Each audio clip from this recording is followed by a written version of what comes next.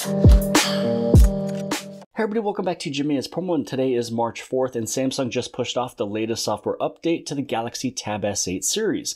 Now, this one right here is the Galaxy Tab S8 Ultra. I'm definitely in love with this thing. I'm using it every single day, especially with being a stay-at-home dad. This thing is always being used for, you know, either YouTube Kids, if it's for Twitch, regular YouTube, ABC Mouse, all that good stuff. This thing is, is a lifesaver. Now, you're now going to get this very, very large update, Samsung One UI 5.1. There's a lot of stuff going on, and actually after this update is finished, we'll take a look at a few of these. Now, 5.1 is familiar to you because 5.1 is what is out of the box with the Galaxy S23 series. So you'll have a few different features that you're able to do on, on those brand new devices that you're now able to do here on your tablet. Now, this, this spot right here, there's some details that after you update it, it'll actually go away. So we're gonna take a look at this one right here as well. I just wanted to let you know and point it out.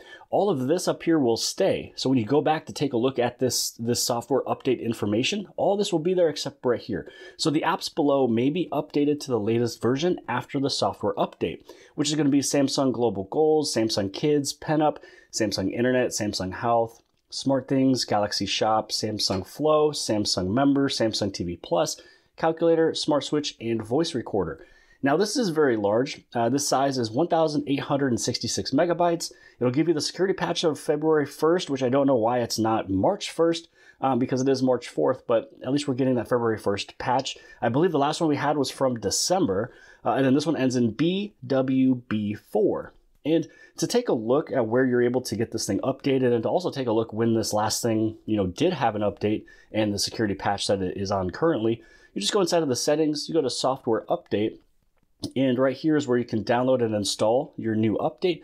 But here is that last one. And so like I mentioned from before, some of the details will sit right here. Uh, the last update we did was January 4th, and it gave us the December security patch. So yeah, this last security patch we had uh, was all the way back from December. And here we are now finally going to get this brand new one. That's going to give us all the way up until February 1st security patch. So right now I'm just going to update this tablet, get it installed, and then what we're going to do is we're going to read through the whole list, see what all is brand new, and then we're going to take a look at some of these brand new features. But it's also around this time in the video that I like to state that if you're brand new here at the channel Jimmy is Promo, you appreciate these tips, tricks, tutorials, and the latest information on your Samsung Galaxy devices. Make sure to hit that subscribe button as well as the bell for notifications so you get notified for all future videos. So now that the software update is done and complete, how about we head right back inside of that long list of every single thing brand new, and then we'll take a look at some of those newer features so you can see exactly what has changed. So again, to take a look at everything that's new, you'd be able to go on the very top inside of your settings. You're gonna scroll all the way down. We're gonna take a look at the software update, and then you just go right here to where it says last update.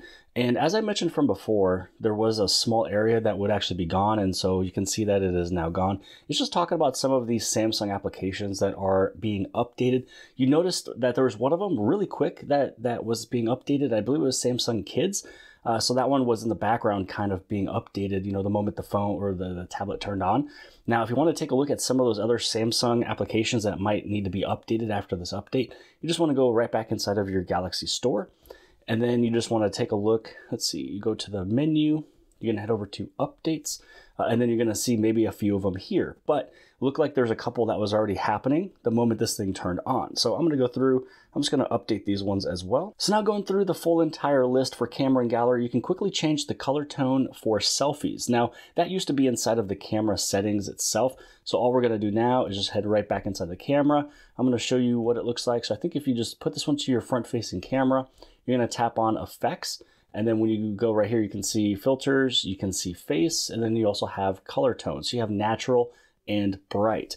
Now, I don't know how you know how many people would actually take photos with their tablet, but at least it's there. Uh, so color tone for selfies. Then you have a more powerful search. Again, this is inside the gallery, so you can now search your gallery for more than one person or subject at the same time. You can even search for people without tagging their names just by tapping their faces. You also have enhanced image remastering. So, remastering uh, does more to make your pictures look great by removing shadows and reflections. You can also remaster GIFs for a better resolution and clarity. Now, to show an example of remastering, if we go inside of the gallery, you just want to find an image. On the very top right hand side, you go to those three dots and you go to remaster picture. Now, all you're going to see is a little line and it shows you the before and the after. So this has been a little bit better refined, showing you exactly what it's going to do. So again, this is what it looked like after. This is what it was from before. You want to look at everything, you know, uh, backgrounds, the face, all that good stuff. So I'd be able to share this immediately. So basically, it's going to share this after if I wanted to send as a text or, you know, Facebook, whatever. Um, or you can hit on this little save button right now and it's going to save it as this remastered or these three little dots is save as copy. So this way you can have both images. So you can have a copy of the before, a copy of the after. You don't know which one is the best. Now let's say that you hit on save. What you're going to notice is that in your gallery, it's going to say the word remastered. So you know that you've already edited this one. It's already been remastered. If you wanted to, you can actually revert it back to the original uh, just like that. Very simple. Next up is going to be create a shared family album. So it's easier than ever to share pictures with your family. Gallery will recommend pictures to add to your shared family album by recognizing the faces of family members you select. You have 5 gigabytes of storage for each family member, up to six. So that's amazing. The revamped info display. So when you swipe up, when you're looking at a picture inside of your gallery, you're able to see uh, when and where the picture was taken, which device took the picture, where the picture is stored, and more. And it's it's pretty nice. So you know, if we go back inside of the gallery here, and let's say that we just take a look at scroll down. Let's go back to this picture right here. So when we go to this one right here and you swipe up, you're going to see a bunch of details. So you can see how you know it was being taken with with the with like the f-stop, how big the size is, uh, your ISO, all that good stuff, where it's stored in this device itself and then when you took it, the date and the time. You can even edit it. So if you wanted to add a title to this, you can add it as a title. Um, but yeah, so that's pretty cool. Uh, I mean, some people knew and some people didn't know that you're actually able to swipe up on any picture and image uh, or video and you can get a bunch of really cool details. When it comes down to multitasking, easily minimize or switch to full screen. You can now minimize or maximize an app window without going to the options menu. Just drag one of the corners. Now, what they're talking about here is let's say that we go inside of YouTube. Now, this part right here, where if I swipe this thing down, like this isn't new. Uh, and yes, you are able to go through and you can make it enlarged. But what would happen is if you tried to go all the way to the top, it would actually be smaller. Like it wouldn't snap back to the full frame. So this is new right here on 5.1. Beforehand, it would actually be stuck probably around this size. You can maybe get it a little bit bigger, but again, you're going to be in this little screen, not really that full framed effect that you would have to, you know, beforehand have to go another route. So yeah, they made that much easier. Access your most used apps in split screen. So when you start a split screen view, the apps you use most often will show below your recently used apps to help you find the apps you need faster. So again, let's say we go back inside of YouTube. Let's say I swipe up with two fingers. Now, uh, the most used apps would be right here. Here's the recent apps. So these are the ones that I have currently open because if I swipe up, you'd see that I have these three open. Now, if there was applications that I used all the time, it would actually be right here. So my most used ones would show up. So maybe YouTube would actually be one of those that would show up in this option here because we do use YouTube a lot. So that's also pretty cool that you're able to do. So that's brand new for Samsung One UI 5.1 because uh, uh, beforehand that entire category was actually gone. Next up is the improved multitasking in Dex. In split screen view, you can now drag the divider in the center of the screen to resize both windows. You can also snap a window to one of the corners to make it fill a quarter of the screen. So anybody who uses Dex, you do have one more available feature. Now inside of modes and routines, you can change wallpapers based on your mode. Set a different wallpaper based on your current activity. Choose one wallpaper for work, one for exercising, and more. And there's also more actions for routines. So new actions let you control quick share and touch sensitivity or change your font style. So what they're talking about here is when you when you scroll down, you want to take a look at these buttons here to see if you see modes. Now, if you don't see mode, you just want to go to those three dots, go to edit buttons, and up here there's actually more pages that you can actually bring down. Also, too, you can change the order of all of these, so there's a lot of customizations you can do. But because modes is already there, uh, what will happen is when you press and hold, it's going to show you all these different modes. So if you actually go to work, uh, you can actually set this one and you can have it set to, you know, connecting to a Wi Fi or go into a location. When you're actually at a location, it'll switch into work mode. And within here, is where if you scroll down you can see your options for wallpapers. So I'm just not going to do that currently right now because with me sitting at home it'll show my address, things like that. So um, all you have to do is go inside and you can choose a wallpaper for any of those modes. So if you go to the gym, if you go to work, if you come home, you can have a different wallpaper for all three uh, and it'll change automatically for you. For weather, you have quick access to useful information. You can check severe weather alerts, daily weather summaries, sunrise, sunset time at the top of the weather app. The temperature graph now uses colors to show how the temperature changes through the day. You also have a hourly precipitation graph. An hourly graph, uh, well, that's kind of self-explanatory. You also have summary on weather widget. So with inside of the weather widget, there's a brief summary of the current weather condition. It'll now appear on the weather widget uh, to let you know if it's sunny, cloudy, raining, or snowing. So they're basically talking about this right here. So if you want to, you can go in and you can press and hold and you can edit it, change it, make it bigger, make it smaller. Uh, you can actually press and hold.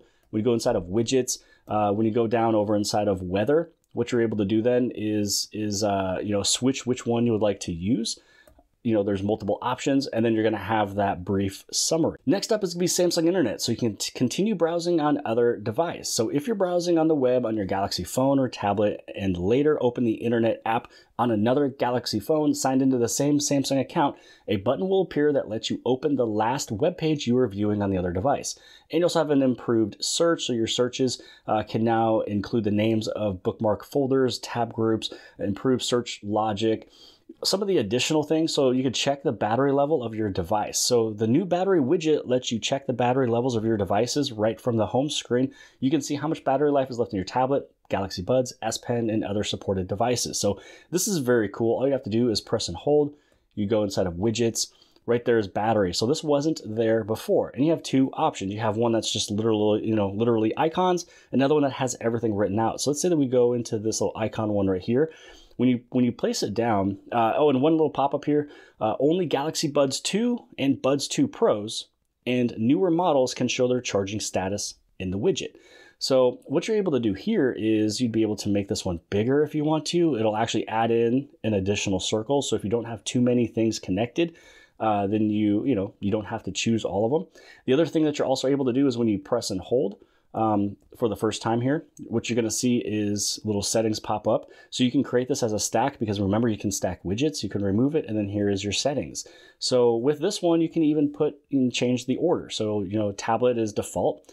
Galaxy Buds, S Pen, and other devices, you can reorder them if you would like to. Now to show a better example of the battery widget, I am using it right here on the Galaxy S23 Ultra. You can see that I have my uh, phone battery, I got my watch battery right there. Now if I bring in the Galaxy Buds 2 Pros, uh, what's going to happen is these other two are going to fill in because it's letting me know what my battery is for the buds themselves and also for the case. So this way you know right off the bat, you know where you're sitting with all of your different accessories that you have all plugged in. So then the very last circle that would be there if I expanded this more would be the S Pen.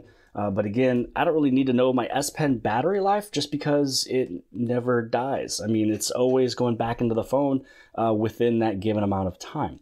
So because I don't really have a lot connected to this tablet currently in terms of accessories, I'm going to delete it because I can already see my battery level on the very top. So now all we're going to do is we're going to head back inside settings.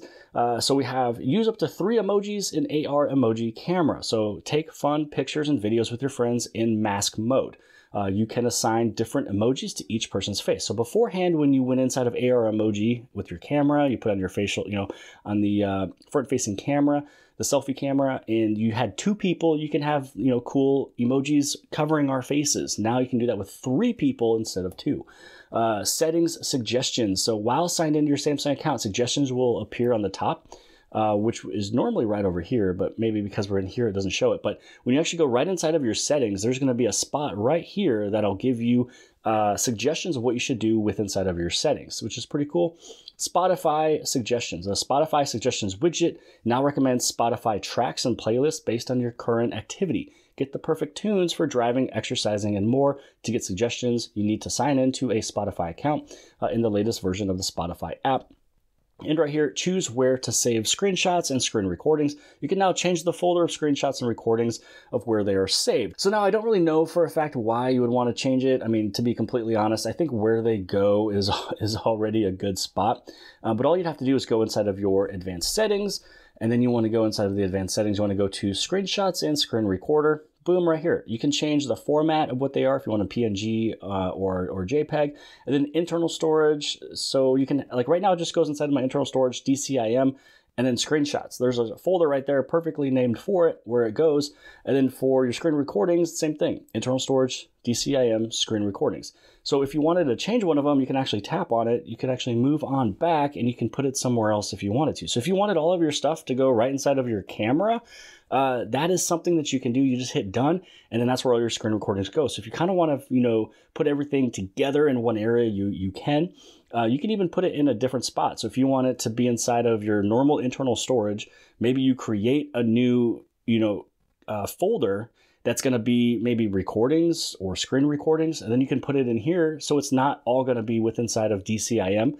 Uh, and then all these folders. So right now it's going to be right here, screen recordings. So, you know, if everything is already looking good, you can really just kind of, you know, go backwards a few times, get out of it so you don't have to make any changes. Uh, and so there we go. It's still going to be in the exact same spot, but now you can and have the ability to change uh, where your screenshots and screen recordings go. So this basically is every single thing that was on this update. I pretty much showed all of them as well, uh, especially the ones that actually mattered. So last update, we got the February 1st security patch. This was the last update right here. We went through every single thing, showed every single thing. So if you own a Galaxy Tab S8 device, you might want to take a look to see if you got this update. Now you just have to remember, some people already got it, some people got it today, and some people will get it very soon. It's just a rolling update, just depends on where you're located uh, throughout the world. And also, too, if it's Wi Fi or if it's connected. But hopefully, you guys appreciated this video. If you did, please give it a big thumbs up. Don't forget to hit subscribe. Subscribe on the very bottom left hand side. And if you like this video, the more than likely you also like this video. And I'll see you guys later.